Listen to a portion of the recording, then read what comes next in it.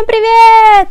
Меня зовут Лариса. Сегодня суббота, это значит мы будем говорить э, о Лондоне, об Англии. К сожалению, видео я не успела демонтировать, оно переносится на следующую неделю. А вот в это субботнее утро я хочу вам сегодня рассказать немножко о Лондоне. А, я была в России недавно. А, мои друзья, мои подписчики, они посмотрели и такие мне говорят, Лара, все круто, видео круто, Лондон круто, очень интересно, продолжай. Ну скажи, а по ценам-то чего, как? сколько что стоит. И поэтому я решила сегодня снять короткое разговорное видео, где я буду говорить, чё почем или сколько стоит Лондон. Это видео чисто информативное. Я не хвастаюсь, я не жалуюсь, я просто хочу вас проинформировать, что если вы едете в Лондон, то вы должны ожидать, э, что что-то будет подороже, чем в странах, где вы живете. Я, в свою очередь, хочу сказать, что если ты еще не подписан, подписывайся прямо сейчас, прямо сейчас и смотри это видео до конца. Если вы все еще со мной, вы подписаны, я вас обожаю я когда сюда переехала, я, конечно же, переводила в рубли и думала, ох, господи, этот сэндвич стоит там 400-500 рублей, да, такой сэндвич не может столько стоить. Когда я приехала в Россию, такая думаю, о, первое, второе, третье стоит всего лишь 5 фунтов, дайте 2. Сейчас я приехала, и у меня опять этот переворот в рубли, я думаю, как все дорого. А приезжая в Россию, пересчитываю фунты и думаю, как все дешево, берем, берем, все покупаю, все покупаю. Смотрю такие видео также по Европе, что сколько стоит, потому что, ну ведь мы же люди, нам же интересно, что у кого в шкафу, что у кого в кошельке, что у кого в косметичке, а также что по ценам. Когда ты едешь жить в Лондон, ты знаешь, э, здесь э, есть высокие зарплаты, но ты должен еще ожидать, что здесь есть высокие траты ручной труд везде очень дорого стоит. Ручной труд, я имею в виду эти услуги, которые выполняются руками. То есть э, сантехник, э, я не знаю, маникюр, массаж, э, все это стоит, выходит в приличную копеечку. Итак, сейчас будем структурированно обо всем говорить. Первое, с чего мы начнем, давайте жилья. Лондон делится на несколько зон. Первая, вторая, третья, четвертая, пятая, шестая, седьмая, восьмая, и, конечно же, чем ближе к первой зоне, тем квартира стоит дороже. Хочу сразу отметить одно отличие, что здесь арендную плату берут за неделю, а не за месяц. Допустим, э, однокомнатная квартира плюс living room, он не считается за комнату, то есть спальня плюс еще одна комната. То есть в России это называется двушка, а в Англии, в Лондоне это называется однокомнатная квартира. One bedroom, одна комната плюс living room, это студия вместе с кухней. Она приблизительно нам обходится, сейчас точно не скажу цену, ну, такие квартиры стоят э, вторая, третья зона стоит 350-390 фунтов. Это только за неделю. А, вы должны посчитать, э, сколько недель это в месяце. Это может быть 4, а может быть, оказывается, представляете, 5 недель в месяц есть. Все это зависит, конечно же, также от зоны, от самой квартиры. Квартира может находиться в старом доме, квартира может находиться в новом доме, может находиться в высотке новой. И все это зависит. Если вы смотрите жилье в многоэтажном, где там может быть 14, 15, 20, 50 этажей, естественно, самые высокие этажи, они будут дороже, чем нижние этажи. С чего начинается начинается плата, вы снимаете жилье непосредственно у агентства. Есть какие-то уникальные счастливчики, где им удается обойти агентство недвижимости и снять непосредственно у хозяина, но я таких людей, если честно, не знаю. Итак, аренда идет только через агентство, и когда вы снимаете, выбираете жилье, вы 400 фунтов платите агенту, и мы еще платили депозит. Депозит – сумма, которая равна 4 э, неделям. То есть, допустим, если квартира стоит 350 в неделю, считайте 350 на 4, это уже депозит. Но, одно но, если вы снимаете с животным, допустим, с кошкой или с собакой, в, э, в контрактах прописано, что можно иметь животное. В каких-то домах нельзя иметь животное, это тоже надо учитывать. Если у вас есть э, животное, то вы платите депозит уже за 6 недель. То есть, считайте, 350 умножается на 6, и вот уже депозит за животное. Депозит в конце вашей вашей аренды вам возвращают.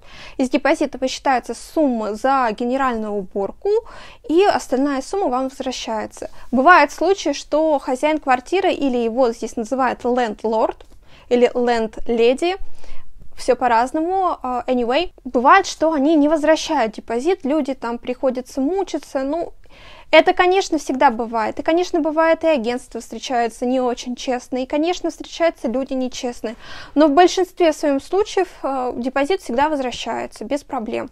Я слышана на таких э, ужасных, страшных историях, самой даже бывает страшно, но все в нашей жизни случается. По поводу покупки жилья, я не могу вам сказать, насколько это выгодно, невыгодно. Всех, кого я знаю, с которыми я общаюсь, они в основном э, снимают жилье и считается это более выгодно. И надо понимать, что при покупке жилья платятся даже налоги, а даже два, а может быть три и несколько. Я не могу вам сказать точную стоимость, потому что я с этим не сталкивалась, и если я вдруг куплю квартиру, если я, конечно, выиграю в лотерейный билетик, э, конечно же, будет этот э, влог, э, история о том, как я купила здесь квартиру. Но пока я не выиграла ничего. Если вы имеете свою квартиру здесь, вы решили передать в наследство своим детям, дети будут платить где-то, может быть, 30-40% от стоимости жилья как налог за наследство. Но если вы оформляете как трастовый фонд и передаете по наследству через траст, сложно мне это назвать, потому что я с таким никогда не сталкивалась, вы не имеете продать это жилье. Здесь очень все запутано. И по поводу жилья я знаю, что если вы гражданин UK э, и у вас есть жилье в другой стране, и, допустим, э, где-нибудь в Америке у вас есть жилье, и вы решили продать э, там квартиру, дом, ну, например, вы налог от этой стоимости продажи платите UK. Смысл, я вообще не понимаю, как такое возможно. То есть, если ты гражданин UK, э, и у тебя есть квартира в другой стране, и ты ее продаешь, то ты платишь налог UK. Как вообще это вот? Для меня это как-то немножко странно, я не понимаю. Но есть такой момент, так что если вы миллионер, то, пожалуйста, учитывайте этот факт. Давайте поговорим о моем самом нелюбимом. Такс, налоги. Здесь э, все мы платим налоги, это безоговорочно.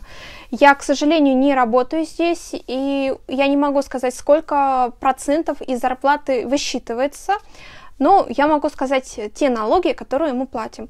Обязательный налог – это налог за жилье.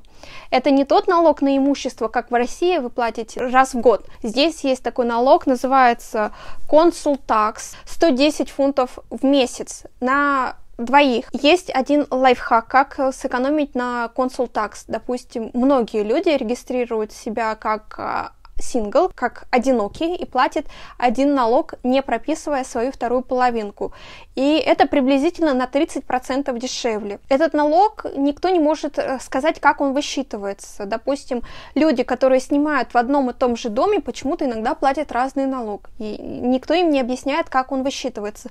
А, в большинстве случаев говорятся, что это все зависит от стоимости квартиры, рыночной стоимости жилья, где вы живете. Из этих 100 э, фунтов в месяц идет зарплата уборщикам, также идет вычет за вывоз мусора и много-много другое. То есть этот консультакс идет не на квартиру, не лендлорду, он идет э, в район, где вы живете. Также здесь есть обязательный налог за телевидение, он стоит где-то 12 фунтов в месяц. Этот налог платится за просмотр телевидения даже не только на телевизоре, а даже вот пускай э, с компьютера. Не знаю таких случаев, что кто-то приходил и проверял, где вы смотрите телевизор. Давайте поговорим о коммуналке. В месяц снимают среднестатистическую стоимость э, э, за электричество, за воду, а когда вы, вы выезжаете и делается уже перерасчет и считают, что где-то вы должны доплатить, а какую-то сумму вам возвращают.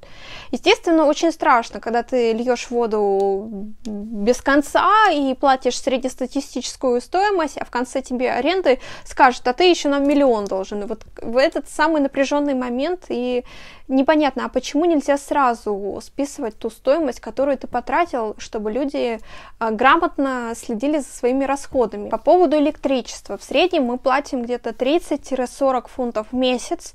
Это вот снимается среднестатистическая стоимость. Ты кладешь кредит какой-то, допустим, 50-100 фунтов, и тебе потом плюс-минус вычитывают, сколько тебе добавить, сколько у тебя есть еще на счету твоей электрокомпании. Газа у нас нет, у нас электроплита, и у нас нету батарей, э, которые обогревают помещение. У нас окна идут с потолка до пола, и зимой у нас бывает весьма и весьма прохладно. Но Не спешите ругать наше жилье, потому что я знаю людей, у которых обычные маленькие окошки, но холодно еще хлеще. Итак, у нас нет батарей для обогрева помещения, поэтому у нас идет обогрев э, за счет э, теплых полов которые обогревают комнату.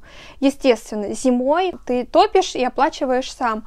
И в среднем мы платили 60 фунтов в месяц, потому что мы одевали теплые шерстяные носки, ритузики и свитер.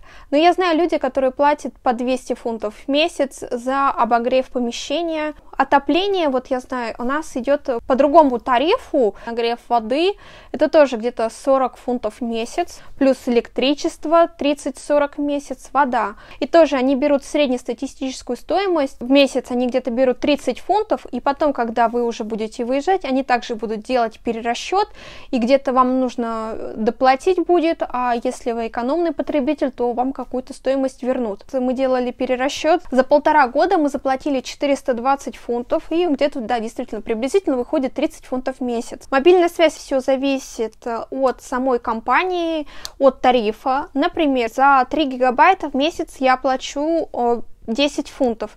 Соответственно, если больше тарифный план а, по гигабайтам за интернет, естественно, он будет дороже. Давайте поговорим о еде. Есть торговые центры с едой, также есть фермерские рынки. Допустим, за еду я заказываю все уже онлайн а, продукты, я плачу где-то 60-70 фунтов за продукты. Это мясо, молоко, а, всякие овощи, бытовая химия. Это где-то за неделю, за полторы мы все это съедаем. Соответственно, что-то докупаем, допустим, фрукты, хлеб, соответственно, мы докупаем. Это где-то еще плюс 20-30 фунтов в неделю может уходить. Есть также коробочковый сервис, то есть вам предоставляют э, набор продуктов, рецепт, вы сами все это готовите.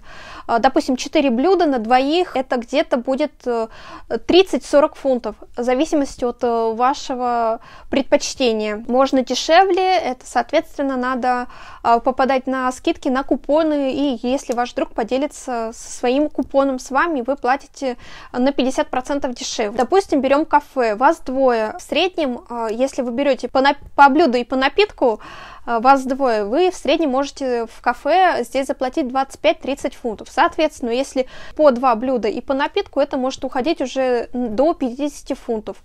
Рестораны, соответственно, они идут дороже, плюс 12% вы платите за обслуживание. 12,5% они уже включены в счет. О домашних питомцах. У нас есть кошка.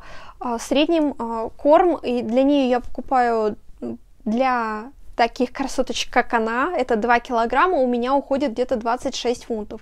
Съедает она его, ну, приблизительно за месяц, за полтора. Влажный корм я не покупаю. 6 пакетиков по 85 грамм для кошек это где-то 7 фунтов. Для хороших таких красивых кошечек, как она. Тут она ходит туда-сюда, своим хвостичком болтает. У нас нет страховки, и с этим мы очень сильно накосячили. Если вы переезжаете со своим домашним питомцем, сразу оформляете для него страховку. Это где-то в среднем 20 фунтов в месяц.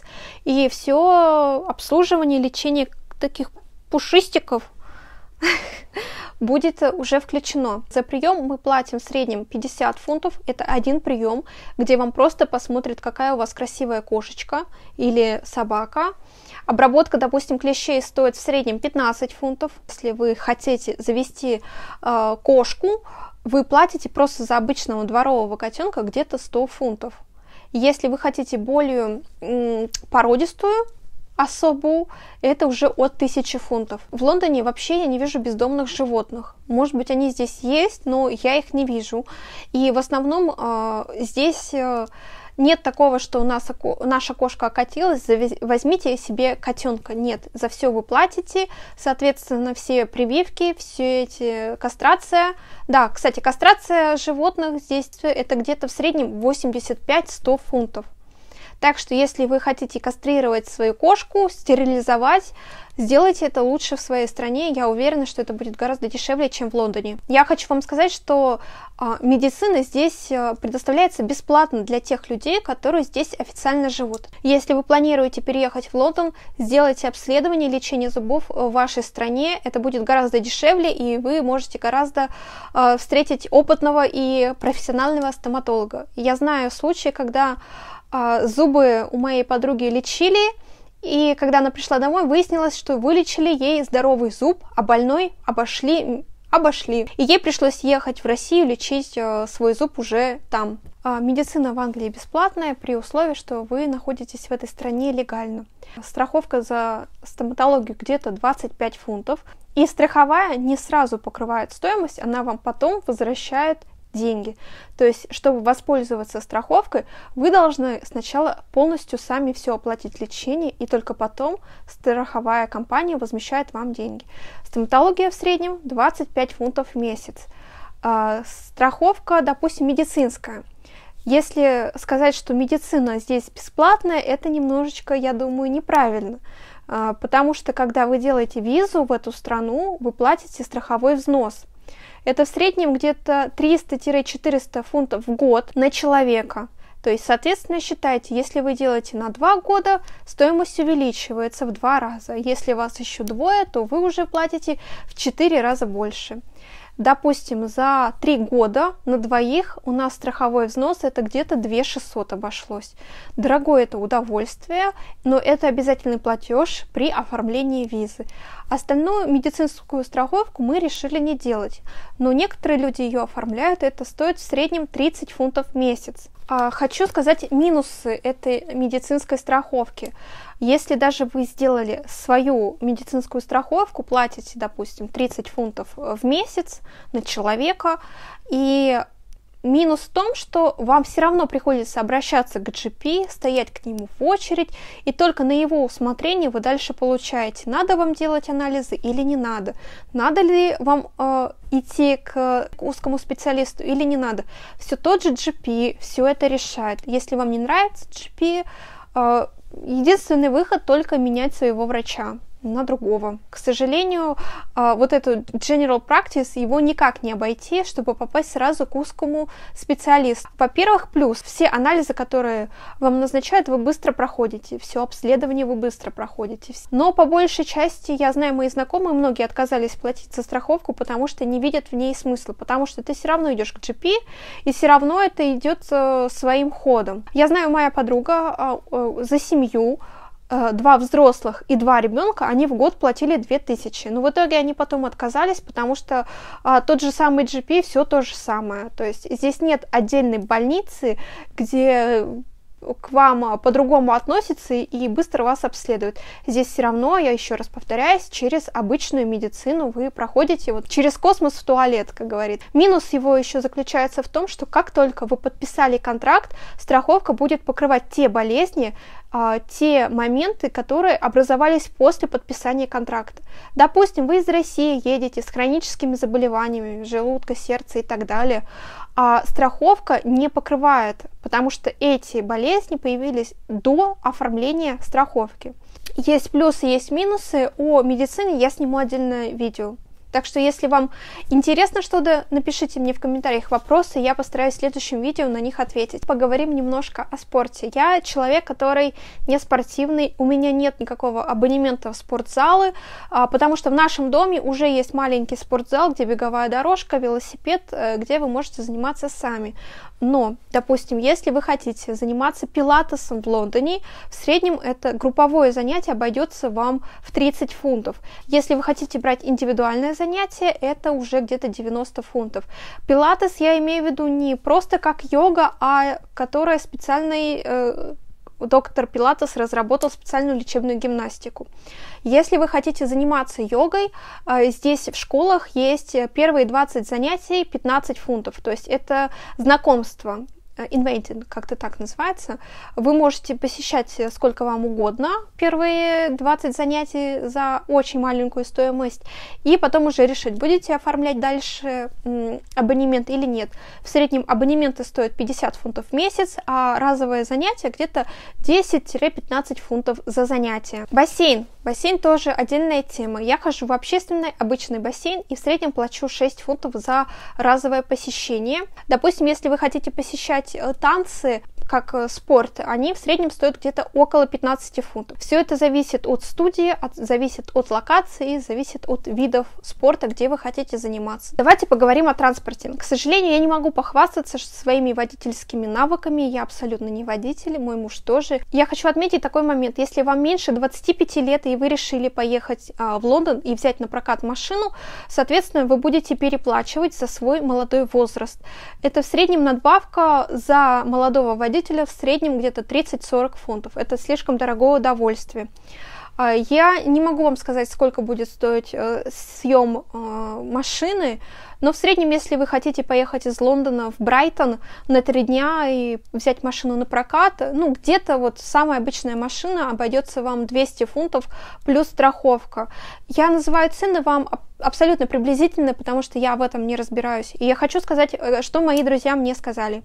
Если вы здесь живете больше трех лет, и у вас нет э, водительских прав в Великобритании, а есть э, свои родные права из вашей страны, здесь они уже не действительны.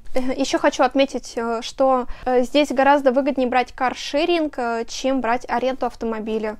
Не знаю, чем лучше, потому что я не автомобилист, и я по ценам не ориентируюсь. Но имейте в виду, что если вы берете на прокат машину и у вас банковская карта русская, то, возможно, страховка будет стоить дороже это тоже все зависит. Я не могу вам назвать стоимость, потому что это зависит от компании э, арендодателя, от машины, которую вы хотите, от локации, куда вы поедете, куда вы сдаете машину, и от самой машины, какого класса вы планируете взять. Так что Простите меня, я не знаю. По поводу метро. В среднем по стоимости за проезд, если вы едете ну, в пределах первая-третья зона а, за проезд не в часы час пик в среднем стоит это 2,40 фунта.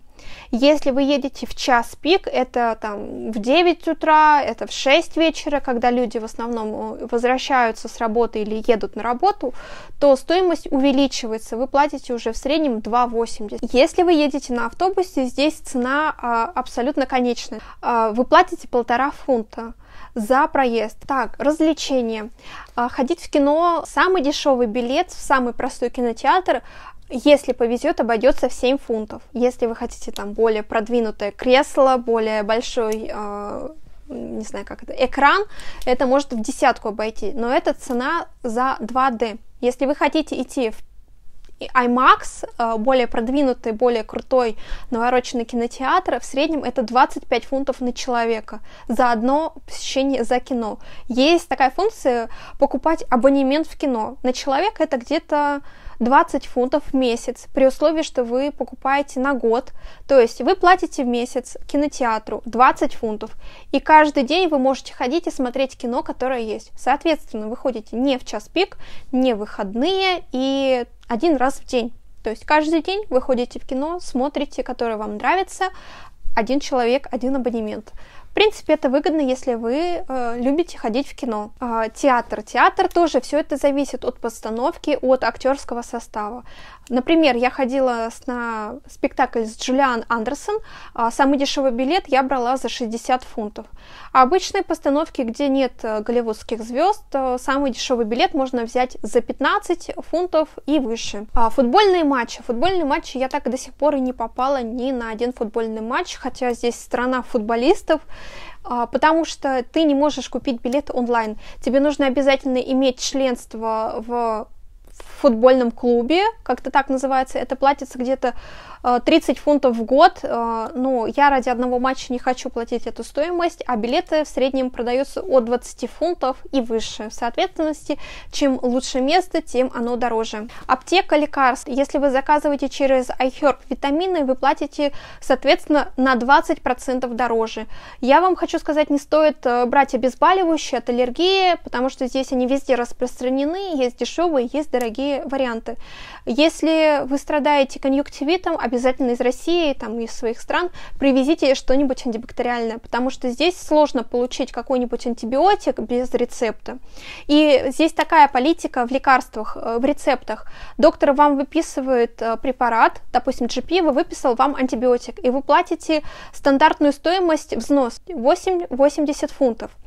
А, эта стоимость э, не зависит от того, сколько стоит ваш препарат. Это если вам врач выписывает таблетки и мазь, вы платите дважды 8,80 за каждую лекарственную форму. Так что не болейте. А плюсы в том, что если вы ребенок до 17 лет, вроде бы до 17 до 16 лет лекарства вам бесплатны. Если вы пенсионер и вам больше 60 лет, лекарства для вас бесплатны.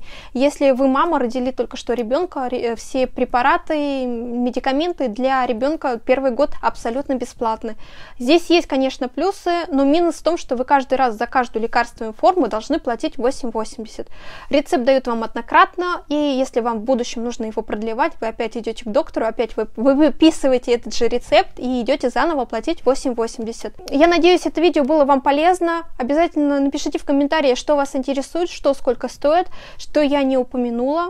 Я постаралась упомянуть все те э, факты, с которыми я сама столкнулась, или мои друзья имели опыт, чтобы я могла с этими фактами поделиться вместе с вами. Спасибо, что смотрели это видео до конца. Обязательно оставляйте комментарии, которые, вопросы, которые вас волнуют. Я на все отвечу. И увидимся уже в следующем видео. Всем пока!